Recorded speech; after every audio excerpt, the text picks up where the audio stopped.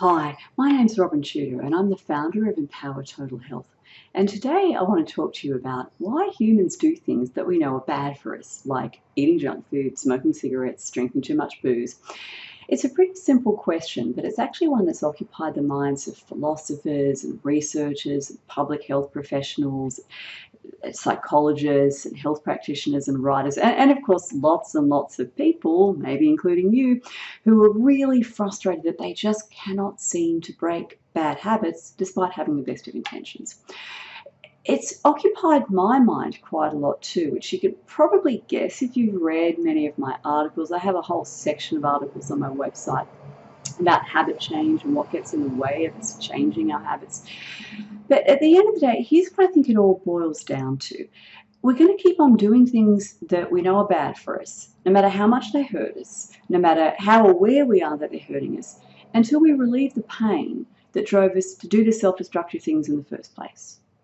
So when I say pain, I mean any kind of pain can drive people to do self-destructive things. The conclusion of, about the, the death of the singer Prince is that he was overusing a prescription painkiller, a synthetic opioid called fentanyl, which he was taking because he had a chronic hip pain. He had an injury in his hip, didn't heal, so he wanted to keep performing, and he took the he, he abused actually fentanyl to the point where he had an overdose. Now, this was despite the fact that he was very well known to be a clean living guy who opposed the, the use of drugs and so forth. So that's physical pain. But far more commonly, it's actually psychological pain that's the driving force.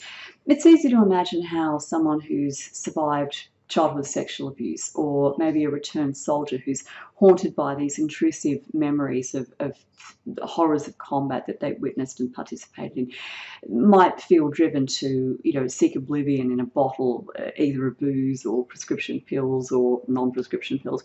But many of my clients really can't get a handle on, on how it is that they're pretty common, pretty ordinary life experiences like, you know, having had emotionally unavailable parents, not abusive, just not fully there for you, or being bullied at school, or having a business that failed, or a relationship that, that broke up and broke your heart, or having a sense that they just haven't found their, their path in life.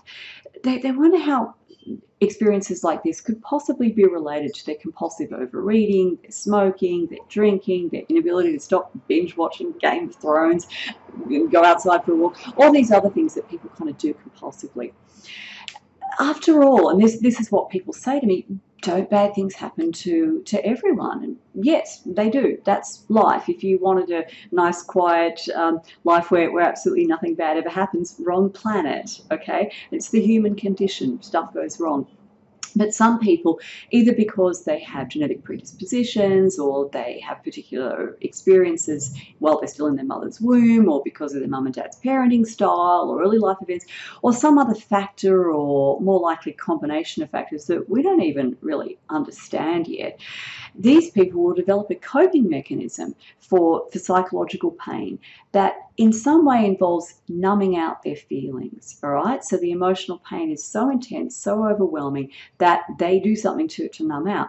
The easiest way to do this, and also the most socially acceptable and the most readily available, especially when you're little and you can't necessarily get your hands on heroin or booze, is, is overeating.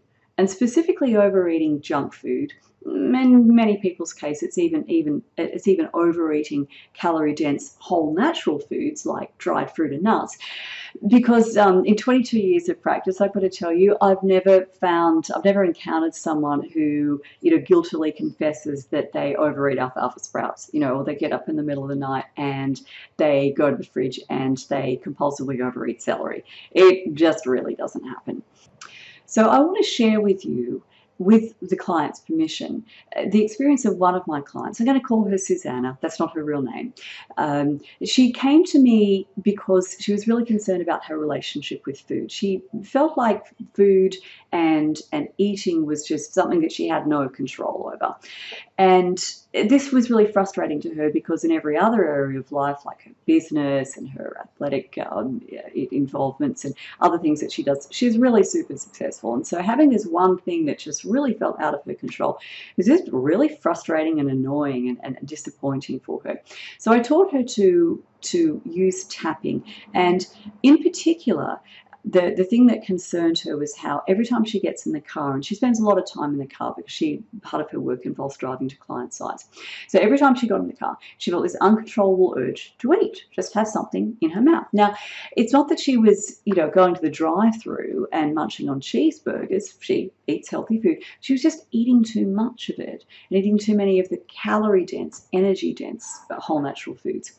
She also reported that she felt quite unable to tell when she was hungry and when she had had enough to eat, when she was full and should stop. This is actually a problem that a lot of my clients report to me. I, I, think it's very strongly linked to, to this habitual unconscious use of emotional numbing strategies. So the thing is that we experience our feelings, our emotions, as physical sensations, you know, so we might experience a lump in the throat or tightness in the chest or an ache in the heart or that butterflies in the tummy feeling. They're the physical manifestations of emotions. So it makes sense that if we're chronically blocking our awareness of our emotions, we might end up inadvertently blocking other physical feedback from our bodies as well, like being able to tell when we're hungry and when we're full. So after I taught her EFT, Susanna began to tap every time she noticed that compulsion to stick something in her mouth when she was in the car. The first thing she noticed that was that when she didn't allow herself to eat in these circumstances, so she felt the urge and she said, no, I'm not doing that, this sense of agitation came up.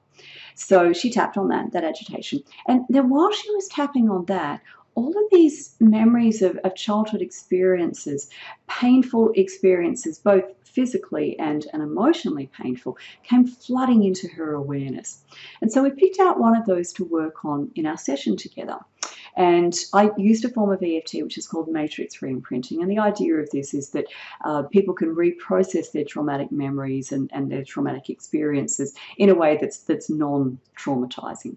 So after we finished, Susanna reported not only that the memory wasn't causing her distress anymore, that she, she could remember what happened, but it was like she saw it in a different way.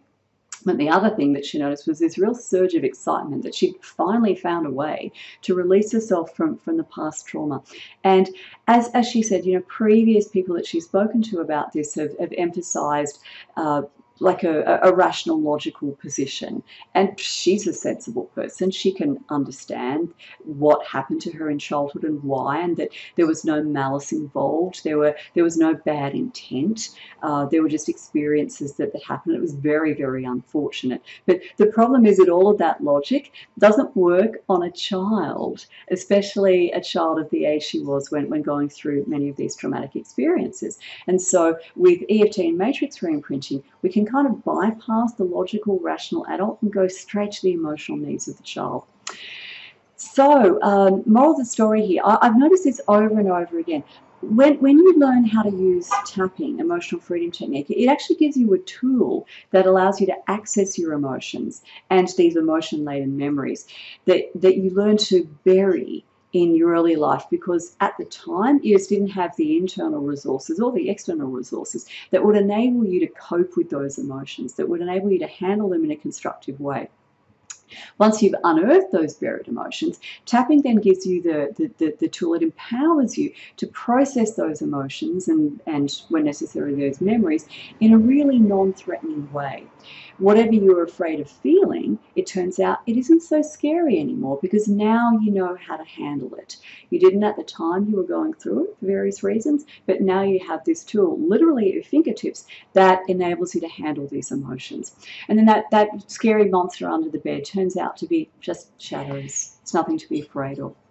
So when you're no longer afraid of your own emotions, you just don't experience the need to stifle them, to, to stuff them down with food or with booze or with cigarettes or drugs or compulsively checking your phone or your email or all the other sorts of things that, that people do to, to try to suppress their awareness of uncomfortable feelings that actually end up undermining their health and happiness.